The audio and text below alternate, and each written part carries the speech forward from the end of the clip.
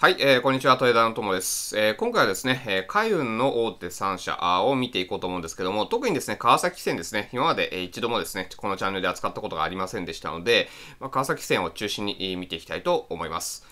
で、えー、直近ですね、えー、まあ、結構調整っていうのがね、えー、入ってまして、えー、まあ、今月末ですね、えー、配当落ちっていうのもあるということで、結構ですね、ここで、えー、売った方がいいのか、それともですね、配当をまたぐか、あ結構迷っている方もいるかなと思いますので、え、参考になれば幸いです。で、このチャンネルはですね、チャートの形成プロセスから今後の値動きを予想するという動画を配信しておりますので、まあ、ファンダメンタルに関してはですね、ほとんど触れないですし、あとテクニカル指標みたいなね、インジケーターとかもそこまで、え使っていきませんので、えー、まあ、本当にですね、チャートの値動きだけを見てですね、え判断していくっていう、そういう動画を配信しておりますので、えー、もしよろしければですね、チャンネル登録お願いいたします。また高評価もね、押していただけると嬉しいです。それではですね、本題入っていきたいと思います。えまず川崎戦ですね、えー、結論から言うとですね、えー、まあ、まだまだですね、えー、そこまで、え下落しているとはいえですね、え調整の範囲内かなというふうに思いますので、まあ、慌てて売るような局面ではないかなというふうには考えております。で、まず月足から見ていきたいと思います。まあ、月足で見るとですね、えー、まあ、ここのね、直近の急上昇っていうところもあって、まあ、そこまでですね、えー、横軸ベースで、えー、見るようなところっていうのもあまりなくて、まあ、ちょっとかなり遠いんですけども、2040円ですね、えー、この辺のところっていうのは、あまあ、かなりですね、えサポートとして機能してますし、ここもレジスタンスとして一回ヒゲで返されている。それから、あ直近ですね、え2022年の10月あたりもですね、えー、かなり強いサポートとして機能したっていうところですね、一応この2000円っていうところは覚えておけばいいんですけども、まあ今直近ではそんなに関係ないかなと思います。そしてこの今のね、上昇局面のところで、まあ一旦上昇した後調整がですね、えー、大きく入っております。えー、このところでですね、斜めのトレンドラインですね、え、この上昇トレンドラインはかなり意識をされるだろうというところで、えー、押さえておきたいところです。それではですね、週足ですね、次見ていきたいと思います。はい。で、週足で、えー、このですね、上昇トレンドのところっていうのを、まあ、見ていきますと、まあ、まずですね、えー、この黄色いラインですね、えー、このトレンドライン、それから、あまあ、その前のですね、この上昇を作り出した上昇のトレンドラインですね、この黄色いラインっていうのが、あまあ、2つですね、引けるかなというふうに思います。で、こちら側の最初のですね、長めのトレンドラインに関してはですね、えー、ずっとこれをサポートにですね、えー、上昇していたんですけども、ここを抜けたことを皮切りにですね、今度はあレジスタンスとしてですね、えー、サポレジ転換っていうのをしているっていうのがね、わかると思います。で、このラインっていうのがちょうど3450円ぐらいのところで、えー、前回のここの高値ですね、えー、この高値の同じ位置っていうところもあって、まあ、レジスタンスとしても機能していて、えー、結構ですね、このところは上値が重いかなというような状況です。で、直近で見ますと、このですね、えー、まあ、高値圏でのもみ合いっていうところをですね、まあ、今週足、さらにですね、下に拡大をしてきているっていうところで、えー、まあ、週足だけ見るとですね、かなり弱いかなというふうに思います。そして2週連続でですね、上髭、えー、長めにね、つけているっていうところで、まあ、ここの天井圏の硬さっていうのはですね、えー、結構意識をされているかなというふうには思っています。さらに、底値圏のところを考えると、やはりですね、この2000円のところっていうのはですね、かなり意識をされているポイントかなと思いますので、まあ、だいぶちょっと遠いは遠いなんですけども、めちゃくちゃ下げてもですね、えこの辺のところではですね、買い物されるかなっていうところ、この辺のところをですね、え週足で押さえておくといいかなと思います。さらにですね、えこの2021年の9月の高値のところですね、えここっていうのが直近のですね、2022年の12月末ですね、えこれのところでは意識をされているこの横軸のラインですね。で、ここのところっていうのはすぐに近いところですよね。で、この、まあ、ラインっていうのが、あ結構ですね、え、サポートとして意識をされる可能性っていうのはね、十分あるかなというふうには思っていますので、まあ、直近はですね、え、やはり、かなり下落のトレンドっていうのがね、え、進行しているので、3000ぐらいまでの下落っていうのはですね、え、容易に想像できるというようなところで、え、まあ、プランをね、立てていくのがいいんじゃないかなと思います。で次ですね、日足、買い足で、えー、見ていきたいと思います。で、具体的にですね、ちょっと今後の値動きっていうところを考えていくんですけれども、まあ、今言ったこの3000付近の横軸ラインですね、えー、ここのところまで落ちていくっていうのはですね、かなりいい、馬鹿ですね、高いかなと思います。まあ、かなりの確率でここまで落ちてくると思います。で、そうするとですね、この黄色の、まあ、トレンドラインにぶつかってくるというわけなんで、えー、まあ、ここのところをですね、死守できるかっていうのがですね、まあ、川崎線、えー、重要なところかなというふうに思っています。で、仮にですね、ここのラインっていうのを割ってくるとするとですね、え今度はですね、この2490、まあ、この辺のところっていうのがですね、まあ、横軸ベースだと意識をされるかなと思います。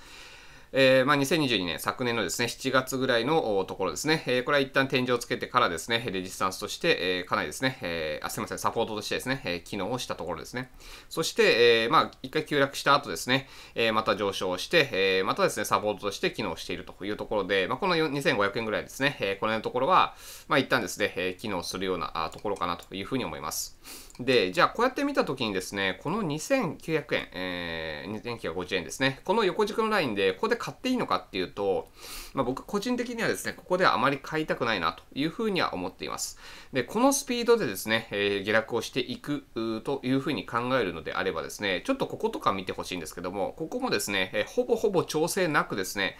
えー、かなりのスピード感を持ってですね、下落してますよね。で、そうすると、まあ、ここの横軸のね、あすみません、斜めの上昇トレンドよりもですね、こちらの上昇トレンドの方が、まあ、長らく機能をしていた、そういうラインなんですよね。でもそれであったとしてもですね、割と簡単にですね、下に抜けてしまって、そしてここでですね、え、サポレジ転換をしてますよね。もう一回ここで、え、試したところをですね、今度は、あまあ、サポートとしてね、え、試した後にレジスタンスとしてサ、えー、機能しているというようなところで、で、その後もですね、やはりこの展開スピードを同じスピードで下まで押していると。いうことを考えると、要はここの、ねえー、上昇トレンドに至るまでのその過程のスピード、これもね、結構大事になってきます。で、このぐらいのもう急激なね、スピードで落ちてくるのであればですね、このライン、横軸のラインと斜めの軸のライン、これが両方あったとしてもですね、ここ下に貫通してくる可能性っていうのは十分高いかなと思いますので、まあ、直近見ないといけないのが、どのぐらいの展開スピードで、この下、ね、えー、2950のところまで落ちてくるのかっていうのは非常に重要かなと思います。ここはほぼ調整なくですね、ここまで到達するようであればですね、ここで買うっていうのはちょっと危ないので控えた方がいいかなと。あるいは最初ロットに留めるべきかなと思います。でその場合はですね、やはりもうちょっと下、深く掘ってくる可能性がありますので、2500円のところぐらいまでの下落っていうのを確保しながらですね、え、相場のこの展開スピードっていうのをね、え、見ていく必要があるかなというふうに思います。うん。で、逆にですね、えー、例えばこことか見てほしいんですけど、結構急落走ったとしてもですね、えー、しっかり調整をですね、一旦の上昇の調整を入れてからあもう一回下げるというようなですね、反発の力っていうのも多少確認することができれば、まあ、ここのようにですね、しっかりとレジスタンスとして機能をして、そして上昇をまた再開していくというような、そういった展開も見られるかなと思うので、まあ、直近で重要なのが、あまあ、反発っていうのがですね、えまあ、この値位置でもいいですし、こうタッチしたところでもいいんですけど、ある程度の反発っていうのがですね、見られるのかどうかっていうところをですね、えちょっと見極めながらですね、えこの辺の追撃を入れるのか、あるいは売りを入れるのかっていうところですね、判断をしていく必要があるかなと思います。はい。で、えっ、ー、と、川崎線、えー、そんなところなんですけども、あと2つですね、見ていきたいと思います。それで、えー、日本郵船ですね、え日本郵船に関しては、えー、まあ、ここのところもですね、え、前回動画で出していますので、ちょっと対局に関しては、あそちらね、前回動画っていうのを見ていただければと思います。えっと、今月の初めの方に動画出しております。で、その時お話ししたのが、ちょっとその時のね、えー、ラインっていうの残ってますけど、この赤いとこですね。で、この天井圏のところは抜けられないですよっていう話を当時の動画で、えー、させてもらいました。そして蓋然性通りですね、えー、まあ、ダブルトップみたいな形をつけてですね、まあ、下落進行していますよね。ただちょっと心配なのが、この斜めのトレンドラインも今週ですね、えー、昨日割ってきていると。いうところですね。さらには、この斜めのこの軸ですね、このネックラインですね。これもですね、ちょっと割りそうというようなところで、まあ、ここ割ってくれる、あここですね、反発してもらえれば、まあ、まだまだですね、え、いいかなと思うんですけども、まあ、この2つ割ってくるとですね、今度、こっちですね、まあ、ここは結構硬いところですけども、まあ、3000円までの下落っていうのはですね、え、かなり可能性としては高いかなというふうに思ってます。なので、えー、まあ、ほぼほぼですね、ここのネックラインを抜けたところは全戻しはしていますので、まあ、この全戻し下にしても買いが入らないということになると、さらなる下落、えー、2900円台に突入するというような、あそういった展開っていうのがかなり濃厚かなと思いますので、まあ、その辺を考えながらですね、トレードをしていくといいかなと思います。まあ、3つのね、大手会話の中では一番チャートが崩れやすそうかなと思いますので、これは注意が必要なチャートかなと思います。そして最後ですね、えー、小生三井ですね。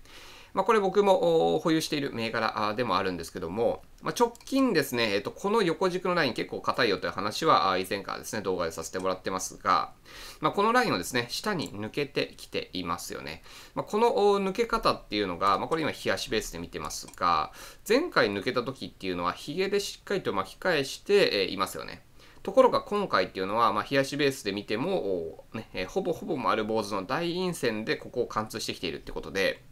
まあ、この反発の力っていうのがめちゃくちゃ弱くなってるっていうのが、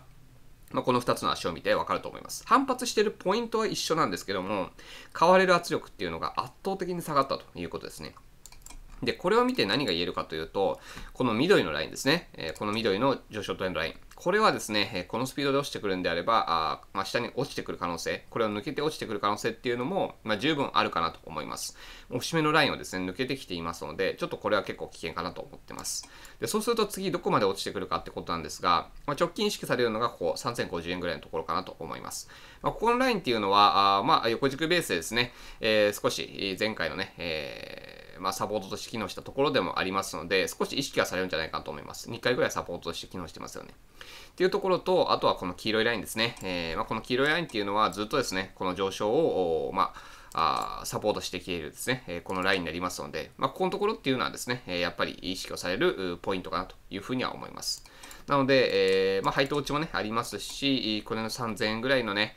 えー、値打ちまでの下落っていうのはね、まあ仕方ないのかなというふうには思っております。まあただ、直近だけ見るとですね、別に慌てて売るような局面ではないかなと思いますし、別にチャートが崩れていると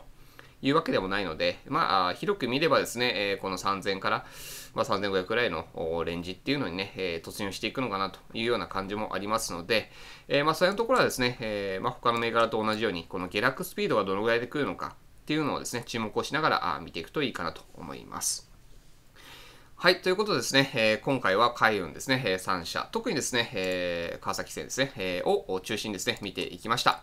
えー、少しでもね、面白いと思っていただけましたら、高評価ボタンぜひお願いいたします。そして今回ですね、最後に質問をさせていただければと思うんですけども、まあ、もしですね、この海運3社買うとしたらですね、あなたはどの銘柄選びますでしょうか？まあ、その理由もですね、えー、コメントで教えていただけたら大変嬉しいです。それではまた次の動画でお会いしましょう。さよなら。